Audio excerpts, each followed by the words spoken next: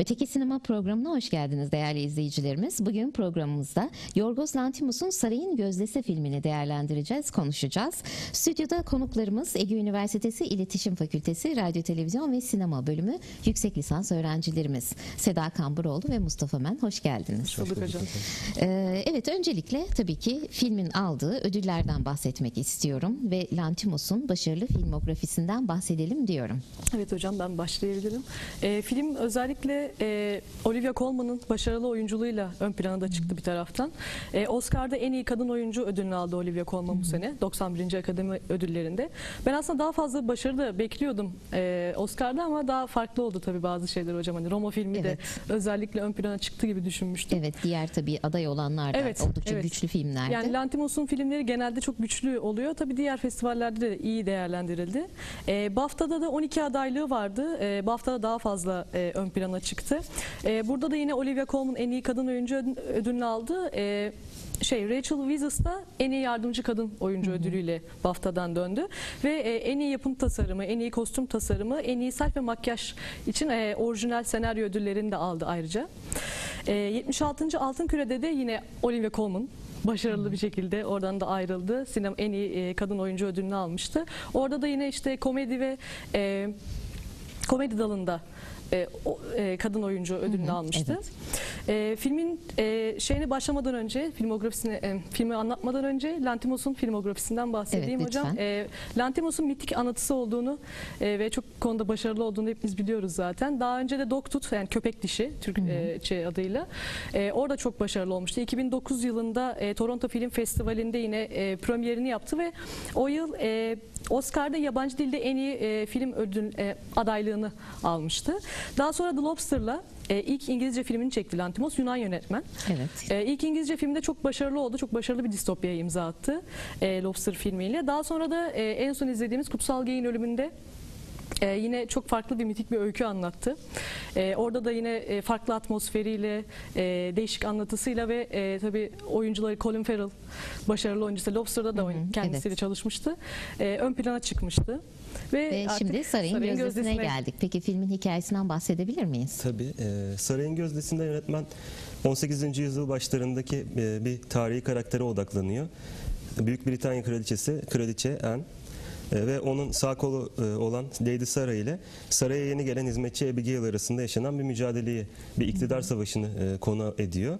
Ve İngiltere bu dönemde Fransızlarla savaş halinde. Bu durumda bile yine de ördek yarışları ve e, saraydaki ziyafetler yükselişte. Sağlığı zayıf olan kraliçe, birazdan rahatsızlığından da bahsedeceğiz. E, ülkenin tahtında otururken aslında ülkeyi onun için e, danışmanı ve gizli sevgilisi olan Marlborough Düşesi Sarah Churchill e, yönetiyor. Ve bir yandan Lady Sarah kraliçenin değişken, değişken mizacıyla hastalığından da e, kaynaklanan e, ilgilenirken diğer yandan onun yerine dediğim gibi ülkeyi yönetiyor ve e, yeni gelen hizmetçi Abigail başlangıçta e, her ne kadar eski bir düşmüş bir e, soylu olsa da Evet. e, Lady Sarah'a zamanla kendisini sevdiriyor ve daha sonra da kraliçe iç- e, için onunla bir mücadeleye girişiyor. E, şey, Zaten Sarah'ın kuzeni.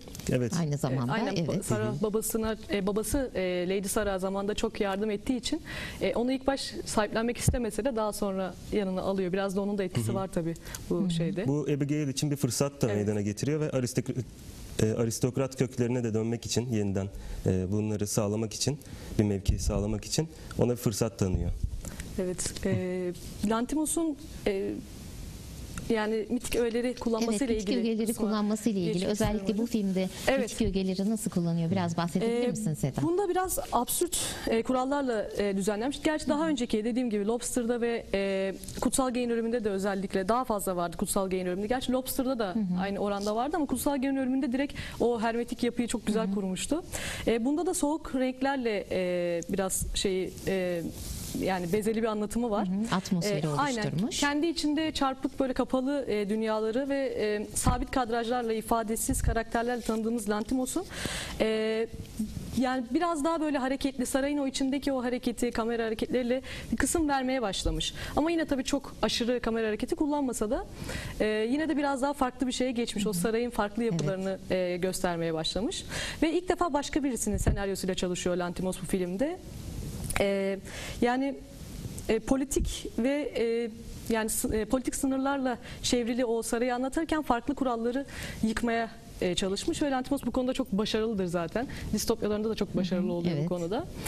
E, yani üç kadının iktidar çatışmasını e, izliyoruz bu filmde ve hani sarayın o devasa yapıların içinde izliyoruz. Aslında burada e, diğer filmlerinden farklı olarak biraz karakterler hani bölünmüş. Direkt olarak e, öne çıkan bir karakter yok. Yani e, işte Colin Farrell'ın ön plana çıktığı gibi değil. Yani Sarah, Abigail ve e, Anne karakteri Colin e, Olivia Colman e, çok ortak bir e, şey paylaşmışlar. Üçünün de e, farklı yönlerini görüyoruz bu filmde ve e, yine e, groteskliği ve edepsizliği biraz Hı hı. e, Çok belirgin. çok belirgin bir şekilde anlatıyor Evet. Lantimos. Peki filmin sinematografisinden biraz bahsetmek ister misiniz? Evet, e, filmin grotesk anlatısıyla senin de bahsettiğin gibi e, tamamen uyumlu bir sinematografisi var diyebilirim ve e, gerek iç gerekse dış mekanlarda da e, bu sahnelerde genel planların pek çoğunda sinemada normalde çok fazla da aşina olmadığımız sadece özel zamanlarda kullanılan geniş çok geç- geniş açı balık gözü objektifle gözü, çekilmiş e, görüntülerle bir deforme söz konusu görüntüde. Bu da o groteskle bağlantılı.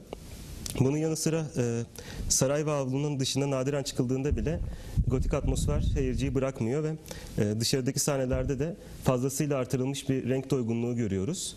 Bu da gerçek dışılığa e, çok fazla katkı yapıyor. Evet. Bunun yanı sıra e, pek çok sahnede de e, geniş açılı bir plandan hızlı bir kaydırmayla başka bir geniş açılı plana e, geçildiğini görüyoruz ve böyle bir e, Evet. yeni bir Evet. sinema hareketi denemiş. E, ve, e, Vippen dediğimiz değil mi? Evet. Ee, f- ya filmin e, görsel estetiğini ara ara yani yer yer kıran bazı şeyler var. Balık gözü işte Mustafa'nın da söylediği gibi balık gözü kullanımlar ve onun dışında filmde tamamen kopuk, alakasız gibi duran yani bir anda başka bir sahneye geçiyor yine tamamen kopuk değil ama e, görsel olarak tamamen kopuk diyebilirim. E, Sarah, Abigail'ın pardon Sarah'ı zehirlediği bir sahne var. İşte Sarah atın üstünde e, sürüklenirken Abigail da bir anda e, odadan çıkıyor ve orada e, şey performans var. Böyle makyajı, peruğuyla e, çıplak vaziyette duran bir adam. Yani duran Evet. derken işte oradan oraya koşturan bir adam daha doğrusu. Oradaki diğer, diğer soylu erkekler de onun üzerine e, çeşitli meyveler fırlatıyor. İşte etraf kanlanıyor falan. Hani kan dediğim Bu grotesk beden tasvirine Evet, grotesk sahne. beden tasviri Evet. ve hani biraz da farklı bir e, anlatısıyla alakalı. Yani görsel açıdan bir farklı bir görüntüyü çok güzel bağladığıyla alakalı bir konu hocam. E, o sahnede de işte o Abigail'ın e, belki ilk saraya geldiği zamanlardaki hatırladığı şeylerle alakalı bir şey ama e, o çirkinliği, sarayın içindeki o güç savaşını, e, kendi içindeki o işte ahlak e, kurallarını bir kenara bırakıp artık farklı bir şekilde çatışmaya başladığını gösteren bir sahneydi. Ben o yüzden çok beğenmiştim. Görsel olarak çok dediğim gibi görsel olarak alakasız, alt metin olarak alakalı bir sahneydi. Evet ona bakmak Evet. lazım. Ee, peki kraliçe Lady Sarah ve Abigail arasındaki hiyerarşiden e, bahsedelim mi biraz? Evet. Tabii bahs- bahsedelim. Ee, aslında filmin geçtiği dönemle de alakalı olarak e, o dönemde Büyük Britanya'da ya da aslında dünyanın hiçbir yerinde e, kadınların e, hakkı diye bir şey hani söz konusu değil. Öyle bir evet. kavram söz konusu değil. E, genel anlamda hatta insan hakları da söz konusu değil ve, ve bir tebaa olma durumu var bir halktan ya da birey olmaktan ziyade. Ee, bunun yanı sıra erkekler sarayda ve dışarıda kadınlara karşı eril bir şiddet uyguluyor ve e, burada gördüğümüz üç karakter e, özelinde değerlendirdiğimizde bu e, şiddeti, hiyerarşiyi eril yapıda olduğunu görüyoruz ve e, kimse bunu e, yadırgamaz bir şekilde haliyle ve çünkü e, kaldı ki bir mo- monarşi söz konusu Evet. burada ve bu monarşinin taşıyıcısı da bu e, eril hiyerarşinin taşıyıcısı da aslında başlangıçta e, Kraliçe Anne ve e, onu kontrolü altına almaya çalışan Abigail ve e, Sarah. Sarah karakterleri. Aynı zamanda e, bu hiyerarşide hayvanlar da nasibini alıyor. E, bir öteki olma durumu söz konusu çünkü. Yani e, karakterleri karakter karakterlerden e, düzeltiyorum.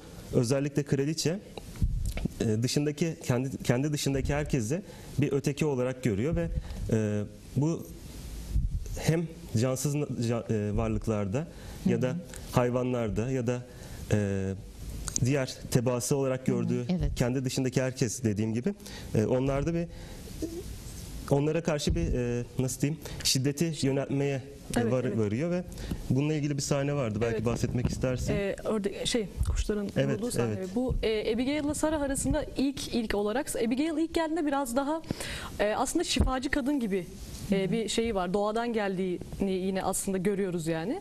E, Sarah biraz daha işte sarayın içinde daha kültüre ait en zaten kraliçe. O zaten kültürün temsilcisi şeklinde. Abigail ilk geldiğinde e, e, kraliçe Anne'in e, gut hastalığına, onu da söyleyeyim artık hastalığı guttu. Gut hastalığına e, çare bulmak için hani ağrılarına daha doğrusu bir ot karışım yapıyor. Hatta ilk e, hizmetliler Abigail'ı e, elini yanmasına sebep oluyorlar bir sahnede. Yani asitik bir şeyi e, bir anda dokunmasını söylemiyorlar, uyarmıyorlar. Eli yanıyor. Kendisine işte e, saraydan uzaklaşıyor. Normalde uzaklaşması yasak hizmetlinin atla birlikte. Gidiyor ormana gizlice. Bir bitki topluyor ve ondan bir ilaç yapıyor. E, o işte ilaç eline iyi geliyor vesaire. Sonra ona benzer bir şey. Yine bir mantar gibi bir şeydi galiba. Tam adını unuttum şimdi. İsmini söylüyor orada. E, Kraliçe Ene de bir şey hazırlıyor. Ve gizlice sürüyor e, odasına girip. Ondan sonra Sara işte geldiğinde hani e, ona ceza veriyor. Kırbaç cezası veriyor. Tam o esnada yine orada eril şeye de bir değineyim. E, kırbaç cezasına götürüldüğü yerde e, mutfakta çalışan diğer hizmetliler işte e, bir anda muhafız bunu işte sokuyor üstünü falan çıkarmaya çalışınca e, de burada hani ona e, tacizde mi bulunacaksın hani tecavüz mü edeceksin gibisinden bir şey söylüyor. Mutfağımda yapma başka yerde yap gibisinden söylüyor. Yani Evet. e, yani eril zihniyet, tecavüz kültürü vesaire zaten bunlar yadırganmayan şeyler ama işte orası ona ait olan bir şey. Mutfağa ait ona olduğu için hani orada değil bir başka yerde yapsa hiçbir şekilde göz hani nasıl diyeyim e, tepki gösterilmeyecek. Zaten buna göz yumuluyor. Normal karşılanıyor. E, neyse o esnada hocam e, işte o şifacı kadın rolündeki halinden sıyrılma sahnesi vardı. İşte bitkileri getiren, ona iyilik getirmeye çalışan kadın bir anda kültüre dahil oluyor. Aristokrat kesimin e, daha güzel olduğunu, o eski zamanları, o lady olduğu zamanları hatırlayıp e, orada bir ördek vurma ördek diyorum, kuş vurma sahnesi var Evet. pardon, ördek yarışlarından. E, Ebigi, e, Sara attığı kuşların çoğunu vuruyor. 13 tane kuş atıyorsa o 11'in 12'sini vuruyor. Abigail ilk 2-3 tanesini bayağı ıskalıyor. Ondan sonra Sarah'la bir diyaloğa giriyorlar orada. E, o diyalog esnasında Abigail aslında biraz hırslanıyor ve e, ben neden hani burada değilim, ben neden güçlü değilim zihniyetine yavaş yavaş gelmeye başlıyor. Tam o esnada e, kuşları vurmaya başlıyor. Ve en son bir sahnede artık hani vurduğu kuş yani Sarah'ı geçiyor 13-12 falan. Vurduğu kuşun kanları da Sarah'ın yüzüne sıçrıyor. Yani orada artık o kanlı savaşın tasvirini direkt olarak Evet. görüyoruz ve artık o ot e, otlardan bitki yapan şifacı kadın e, yani Doğanın doğadan gelen kadın, doğanın aslında. kadını kültüre dahil oluyor ve bütün ahlakını kaybediyor. Onu görüyoruz Tabii hocam. bu arada bol bol kraliçe e, En'den bahsettik. Tabii. Biraz daha bahsedelim istiyorum. E, hatta ilginç detaylar var. Mesela bu detaylardan e, halkın artan vergilere karşı bir tür sivil direnişte sokakları tuvalet olarak kullanması gibi ilginç detaylar var. E, bunlarla ilgili neler söyleyeceksiniz? Ee, bu e, hocam halkın zaten orada aslında grotesk konusuna da biraz daha geri dönmek istiyorum ben.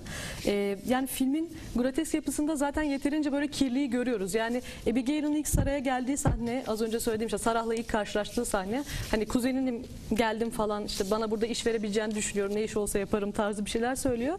Ee, çamurlu attan düşüyor. İlk daha onu orada görüyoruz zaten. Ee, attan düşüyor çamurlar içinde geliyor ve e, pis koktuğunu hani herkes zaten şey yapıyor. Ee, ne iş vereceğim sana burada çocuklara canavar olarak mı diyor. Yani hani o kirliliği e, yadırgıyor ilk baş.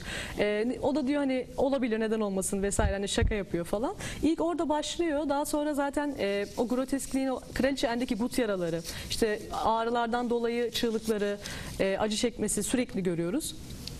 Ee, o tuvalet e, işte halkın tepki olarak tuvaletin dışarı yapması olayı da aynı şekilde yine o groteskliği yani o sarayın e, makyajının süsünün e, gizli yani kapatmaya çalıştığı o şeyleri Evet. e, aslında öyle olmadığını gerçeklerin doğanın buna müsait olmadığını aslında gösteriyor bize.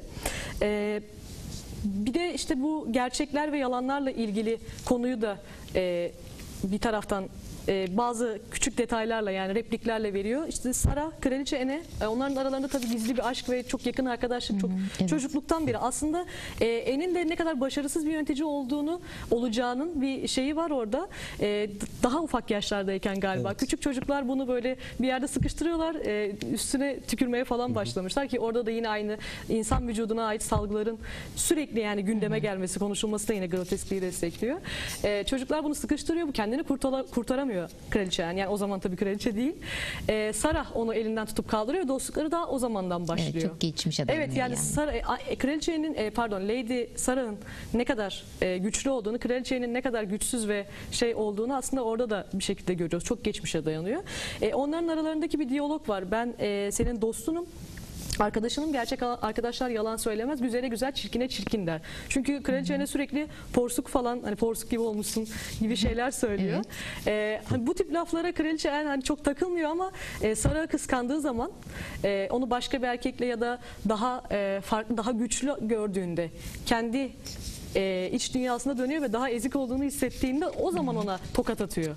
Yani onunla aralarındaki o işte diyaloglar, çirkin olması, işte o benzetmeler vesaire onu yaralamıyor. Gerçeğe döndüğü zaman o olduğu yeri hak etmediğini düşündüğü zaman daha fazla Sarah'a saldırıyor. Ben öyle düşünüyorum yani. Peki bir de doymak bilmeyen bir karın gibi Evet. tasvir ediliyor değil mi? Evet, ben de bu konuya İki değinmek kadın, istiyordum. Ee, burada e, aslında Lady Sarah ve e, Abigail de tabii ama esas da kraliçe de e, vücut buluyor bu. Doymak evet. bilmeyen bir, bir tür e, bir karın Destos, gibi, evet, evet. gibi antik Yunan'da da bahsedilen E, ve burada bir replik var. E, Kraliçe Lady Marlborough'a, Lady, Sarah'a e, hem tatlı hem tuzlusun. Seni ızgara yapsam tadından yenmez diyor. Aslında hani kendi içinde bir nükte var bunun. E, ama yine de yani filmin e, anlatısındaki o absürtlükle de uyumlu olsa da bir tür yani tebaasına anlayışına ilişkin de algılayışına ilişkin de kraliçenin e, bize ciddi bir ipucu veriyor. Ve kraliçe karakteri zaten e, o doyumsuzluğunun bir göstergesi olarak hani genellikle fazla et tüketenlerde görülen gut hastalığına da sahip olması ve e, hani bir lanet gibi hem vücudunu hem ruhunu da ke- e, kemirmesi bunun göstergesi ve e, çağındaki monarşinin o kra- kral, kra- krallığın e, başında olduğu krallığın e, ucube konumu da aslında kraliçenin benliğinde hayat buluyor diyebilirim. Evet. E, Kraliçe En'in bir e, sahnesi var orada da e, bu işte hastalığından vesaire ağrıların arttığı yerlerde e, tekerlekli sandalyesi olmadan bir anda sarayda koşmaya başlıyor ve sarayda aslında sarayın için tanımıyor. Evet. E, ben neredeyim falan diye koşuyor böyle. sarayda. Evet sarayın içinde kayboluyor. Ben neredeyim diyor. İşte orada e, tam şu an salon adını unuttum ama işte bir üçüncü salondasınız gibi bir tepki veriyor işte hizmetli. Ve orada ufak bir çocuk var. Onu kucağına alıyor ilk baş. E, o koşarken bir anda bağırarak koşarken. E, çocuğu hani elinden alıyorlar. E, yani aslında ne kadar yetersiz e, bu yani yönet, ülkeyi yönetmekten uzak zaten kendi aciz, sarayını evet. aciz yani kendi sarayını bile tanıyamayan bir kadın Kendi olduğunu yaşadığı mekanın içinde kaybolan. Aynen öyle hocam. Kendi yaşadığı mekanın içinde kayboluyor. Hiçbir şeyi tam olarak tanımlayamıyor. Yani yem- e, bir yemek mesela önüne koyuyorlar. İlk baş böyle gözünle böyle yaklaştırıp bakıyor. Ondan sonra yiyor. Sarah işte ona bir şey söylüyor. Bu vergilerin arttırılması ile ilgili. İnsanların ciddi tepkileri var ve iç savaşa e, yol açacak bir şey. Yani Büyük Britanya Krallığı aslında ama e, filmde genelde hani İngiltere olarak şu anki adıyla bahsedilmiş. E, hani bir e, diğer bir asker yönetici ol yani yönetici değil de nasıl diyeyim böyle üst e, kurmaylarından biri. Hani vergilerin artırılmasını istemiyor. İşte e, Sarah öyle olmaz böyle olur falan. Hani orada bir e, onu sürekli böyle dinlemekle dinlememek arasında. Yani onu dinlemezse e, onun böyle laflarından kurtulamayacağını biliyor. Ona aslında hiçbir yükümlülüğü yok. Yani kraliçe olan kendisi istediği e, şeyleri doğru şeyleri uygulayabilir fakat hastalığından şundan bundan işte e, Psikolojik durumundan psikolojik dolayı. durumundan, hastalığından, yetersizliğinden ve kendine asla hiç güvenememesinden kaynaklı. Saray'a bağımlı olduğu için kendi içinde de arttırmasını gerek yani arttırmaması gerektiğini bildiği halde e, farklı beyanlarda bulunuyor. Saray'ın istediği beyanlarda bulunuyor.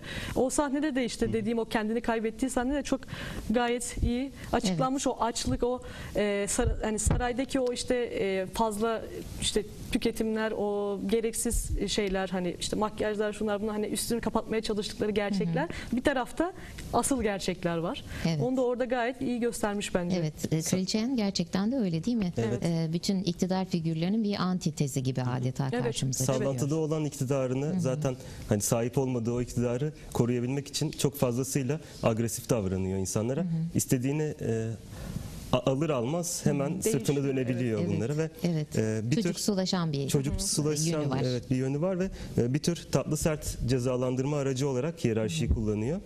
E, bir kalkan gibi kullanıyor bunu ve e, Lady Sarah'dan vazgeçtiği andan bahsetmek istiyorum ben aslında.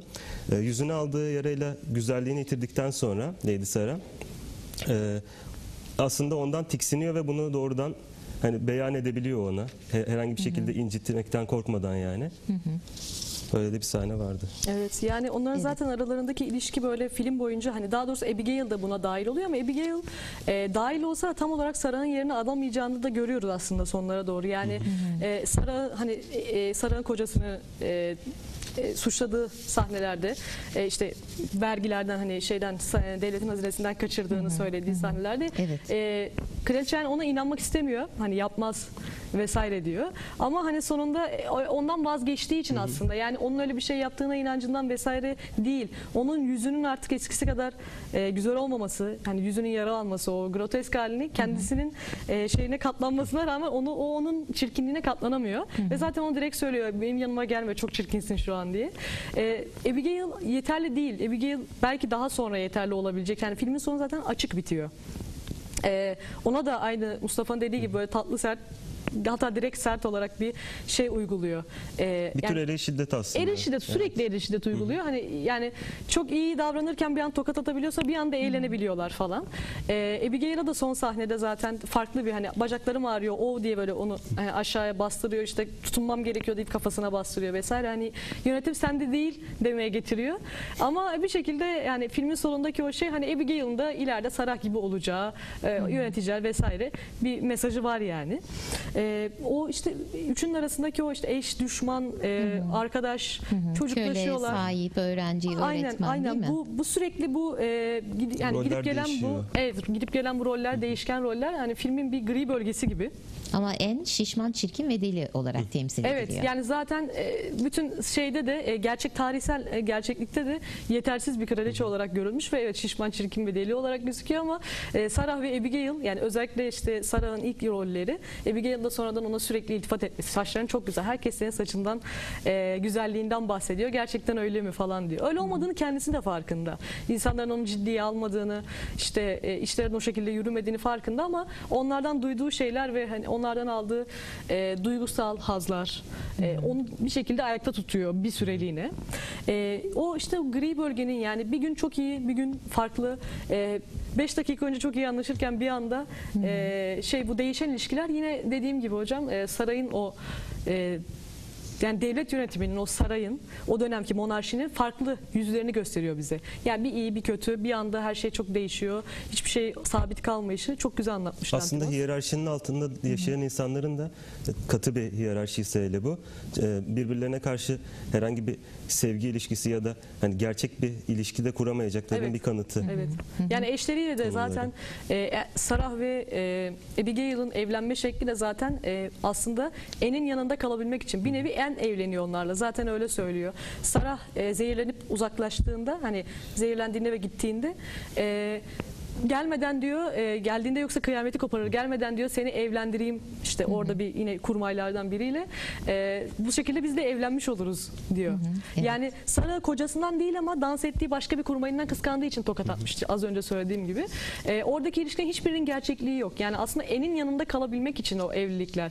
Eşiyle e, Abigail e, filmde diğer e, evlendiği kişiyle sanki böyle başta bir flörtleşiyormuş gibi birbirlerine davrandılar ama sonra işin e, evlendikleri evlendikleri akşam, evlendikleri gece e, Abigail sürekli Sarah gelmeden işte e, gücü ele geçirmeliyim falan. Hani onun umru olmadığını, aslında kaybettiği şey Lady'liği geri aldığını, bunun için yaptığını zaten direkt olarak gördük. Ve tabii diğer repliklerinden de anladığımız Tabii. gibi hayatta kalma arzusu var. Hayatta kalma arzusu. Çünkü e, Sarah onu e, tehdit olarak gördüğünde yeniden sokağa göndermekle suçlamıştı.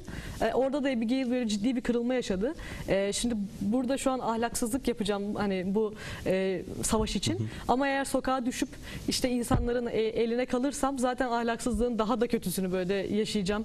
E, en iyisi burada kalmak için bir şeyler yapmam böyle tarzında. Evet. Minvalinde şeyler söyleyerek kalıyordu. Bir tür koruyucu maske aslında orada e, sahip olmak istedikleri şey Abigail'in ve Lady Sarah'ın E, dışarıdaki e, o dönem tabii e, daha önce de söylediğim gibi zaten insan hakları yok ve e, kadın haklarından hiç bahsedilmezken e, dışarısın dışarıda bir kadın olarak var olmak zor ve hatta imkansıza yakın. O sahip oldukları maskeyle de o eril maskeyle de bir tür koruyucu kalkan elde Evet. ediyorlar. Evet. Peki programımızın sonuna geldik. Ee, son olarak neler söylemek istersiniz Sarayın Gözdesi filmiyle ilgili olarak? E, söyleyeyim. Sen söyle istersen. Seda? E, Lantimos'un ilk tarihi ve özellikle kadın eksenli filmi Sarayın Gözdesi ve benim de Lantimos'a ayrı bir e, yönetmen olarak ayrı bir sevgim var. E, bu filmde beklediğim gibi güzeldi. E, yani tavsiye ediyorum. Çok güzel bir anlatımı olmuş. Farklı bir şey denemiş. Yine Evet izleyicilerimize tavsiye Evet. ediyorsun Evet. izlemeleri için. Evet. Peki Mustafa sen neler söyleyeceksin? Ee, Ben de tavsiye ediyorum. Ee, Bu üç karakterin, üç ana karakterin e, aralarındaki o hiyerarşik ilişkiyi e, izlemek ve e, o aslında biraz değerlendirmek normal e, düşüncelerle de farklı. kesinlikle. Evet yani o döneme ait değil sadece güzel bir değerlendirme olmuş. Evet peki çok teşekkür ediyorum programa katıldığınız ve Teşekkür ederiz. renklendirdiğiniz için. Evet sevgili izleyicilerimiz bu haftaki programımızın da sonuna geldik. Gelecek haftaki programımızda görüşmek dileğiyle sinemayla kalın.